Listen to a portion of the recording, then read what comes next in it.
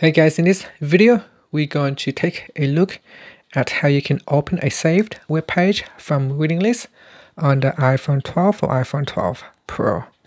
So first, let's go back to your home screen by swiping up at the bottom of the screen. On the home screen, tap on the Safari Internet Browser icon.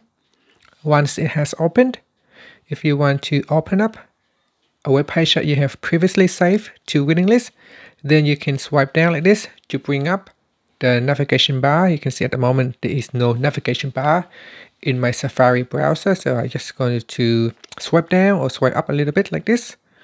So I'm just going to go back. So I'm going to swipe down like this and that bring up the navigation bar. And then you tap on this bookmark icon.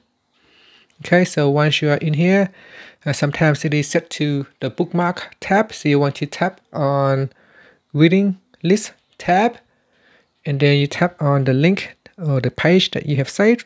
So let's say this business cycle, I was in the middle of reading it. So now I can open the page again and then from here you can continue to read your text. And that's it. So that's how you can open a web page from your reading list on the iPhone 12 series. Thank you for watching this video. Please subscribe to my channel for more videos.